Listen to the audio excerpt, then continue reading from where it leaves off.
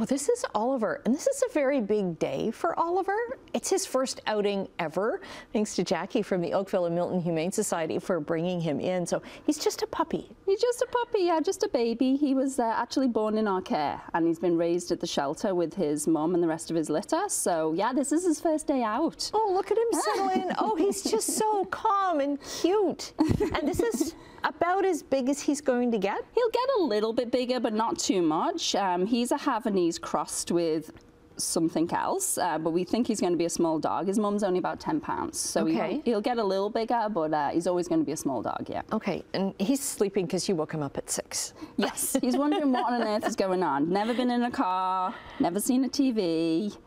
It's a lot. It's a lot for the little guy. Yeah. now, normally when he's at the shelter, is he pretty active? Is he? Oh yes, yes. yes. When we let him out of his cage this morning, he was not like this. he did some laps to get his energy out before we put him in the car. so this is a different side of Oliver that exactly. we're seeing now. Okay. Exactly. He's got lots of puppy energy, but uh, he also has a cuddly side, which is nice. Okay. And so. you say that he is kind of like the first wave of you're, you're going to have a bunch of Havanese pups. Yes. Coming. So Oliver is the only one right now on our website website, but we have um, a couple of his siblings and we also have another litter that are going to be coming up in the next few weeks.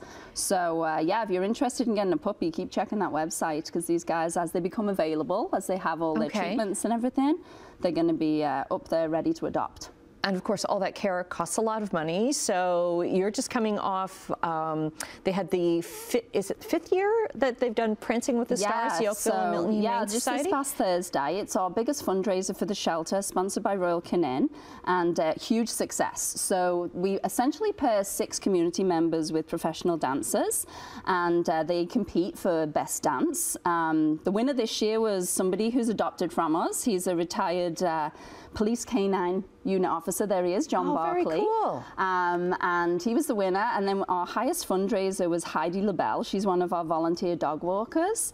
Um, and the whole evening was huge success. We raised over $180,000. Really? Yeah. That so, goes a long way. It does. Um, so yeah, we just wanted to kind of say thank you to everybody that attended the event, everybody that supported one of the dancers or donated in any way, um, because yeah, that goes a long way. It's a really big bonus for the shelter and all the animals in our care. Okay, including Oliver, exactly. about to fall asleep, I think, really in is. your lap. He's oh, he's so sleepy. cute. okay, if you're interested in adopting Oliver, uh, give the Oakville and Milton Humane Society uh, a call or send an email. He is on the website now. And again, as Jacqui said, uh, one of many Havanese yes, that are yeah, coming we're going to have a whole bunch. We've already got some adult Havanese on there, but we've got more puppies coming um, that are just as cute as all Oliver. So keep oh, checking so that cute. website and apply. Yeah. I think he might actually be gone today. We'll see. He might be. Let us know. I think he might have just sold himself. are you sleeping? Adoptable Pets on Morning Live is brought to you by Caravan Pets, new gently cooked dog food, country cookhouse, real food for real adventures.